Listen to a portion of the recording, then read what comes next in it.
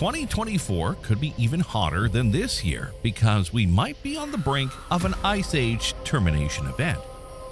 It all started over two and a half million years ago, and scientists are still trying to figure out how it works. Of course, the Milankovitch theory explains the cyclical changes in Earth's temperature, but there are still many open questions. During an ice age, there are periods of cold when glaciers spread, and these are called glacial cycles. The opposite of this is the warm periods called interglacial periods, when the glaciers melt.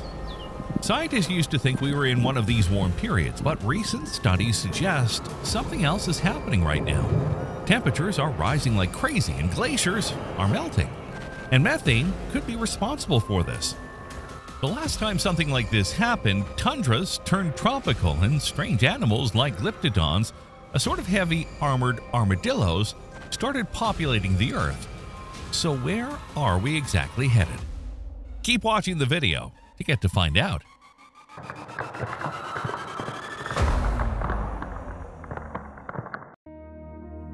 What's an ice age? First of all, allow me to remind you what an ice age actually is. Ice age are periods when huge sheets of ice cover large areas of land. They can last for millions of years and drastically change the landscape. Throughout Earth's history, there have been several major glaciations. The most recent one occurred during the Pleistocene epoch, which lasted from 2.6 million to 11,700 years ago. During this time, early humans like Homo erectus and early Homo sapiens had to adapt to the challenges of the ice ages and warmer interglacial periods. The ice ages had a profound impact on human life. Massive glaciers expanded and contracted, creating new paths for human migration. Early humans left Africa and journeyed into Eurasia, showing their ability to survive in different environments. The world back then was very different from today.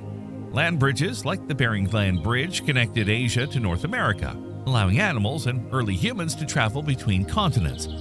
England was also very close to Europe, almost connected to it. This is why historians have found man-made stone tools in England that originated from the south of Italy. However, the Pleistocene period also saw the extinction of many large animal species, possibly due to human hunting and climate change.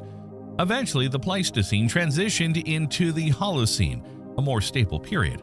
Humans began practicing agriculture and formed early communities, setting the stage for the development of human civilization. Scientists believe we are currently living in this interglacial time period. Glacials and interglacials. As already mentioned, the Earth has experienced both colder and warmer periods during its current icy phase. A graph shows how the temperature and ice volume have fluctuated during these times.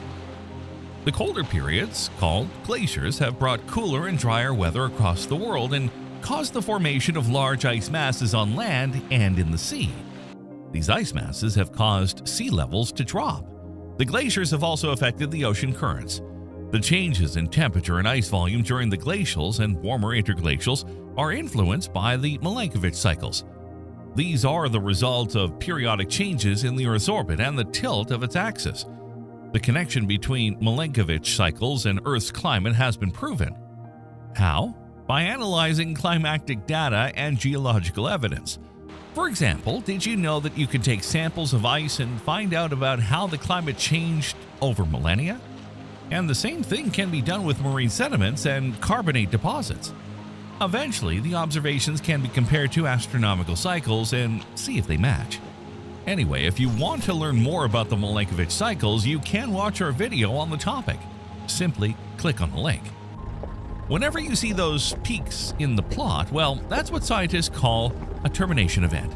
It is a period of time during a glacial cycle when there is a relatively rapid transition from full glacial climates to full interglacial climates. Terminations resemble steep legs on the graph, they usher in a remarkable transformation on a global scale.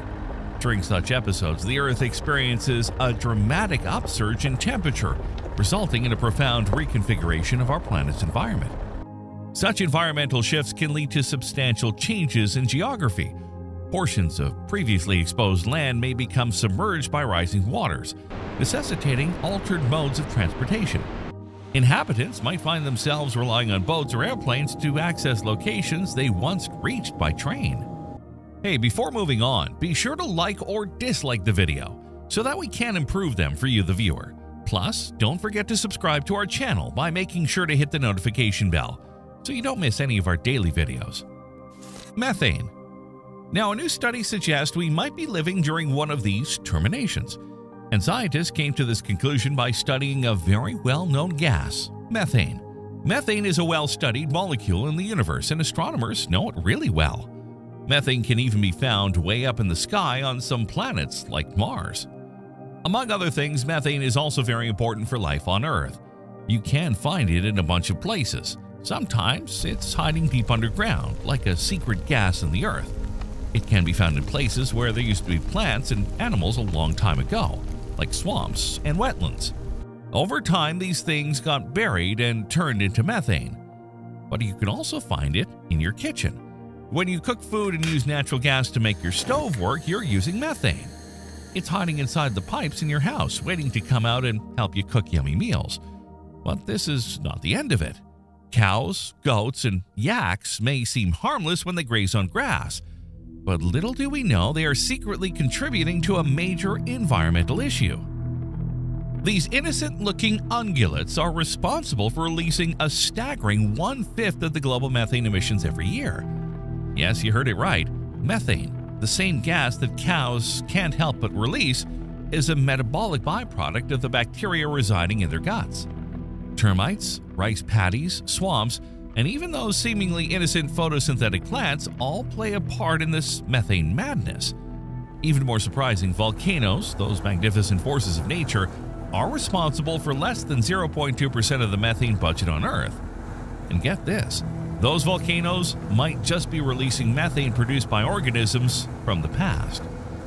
Studying methane and how it gets released helps us understand how ice ages work and where we are headed. Bear with me, I'll tell you how. The rising of methane.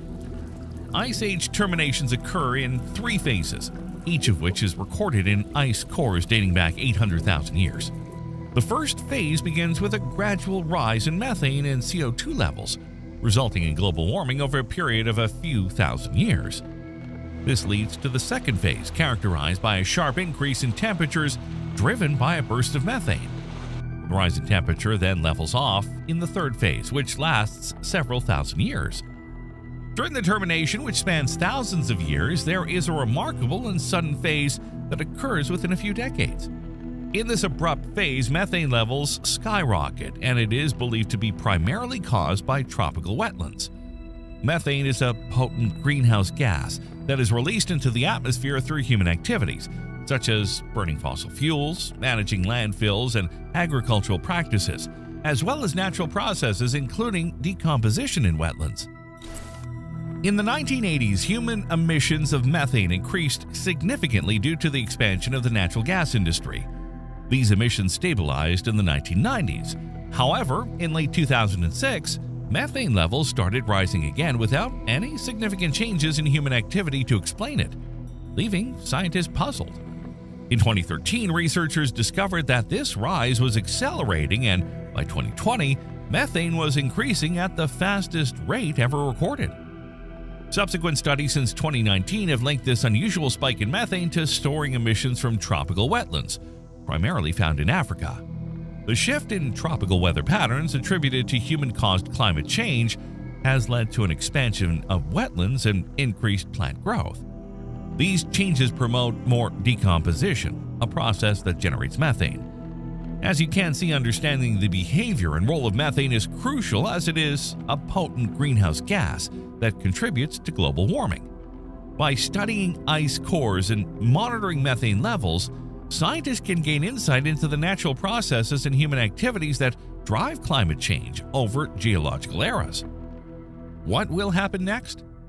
The end of each ice age brought a big change to the Earth's surface. The air bubbles trapped in ice tells us that the amount of methane in the air increased a lot during these times. This caused the climate to warm up by a few degrees over a few thousand years. The main reason for this increase in methane was the growing wetlands in tropical areas. There's already a lot of evidence that the climate is changing.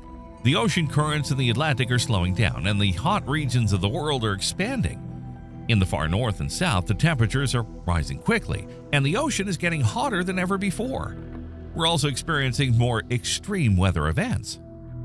In the past, when the ice ages ended, the whole climate system changed. This took the Earth from a cold ice age climate to a warm interglacial climate. But now, we're already in a warm interglacial period. It's hard to say what will happen next, but some possibilities include less summer sea ice in the Arctic, the ice caps in Greenland and West Antarctica getting thinner or even collapsing, and changes in the ocean currents in the Atlantic. This could also cause tropical weather patterns to move towards the poles. These changes would have a big impact on the plants and animals living on Earth, and it could also make it harder to grow enough food in some parts of Asia and Africa. Everything will start with the Earth slowly warming up. 2024 will therefore be hotter than 2023. Regardless of what happens in the future, it's important that we start reducing methane emissions. If we don't, the Earth will continue to get hotter and hotter. Each year will be hotter than the one before it, so it's crucial that we make it a priority to address this problem. If we don't, we could be heading towards an even warmer period of time. That's all for this video. Thanks for watching. What are your thoughts? Let us know in the comments below. We'll see you next time on the channel.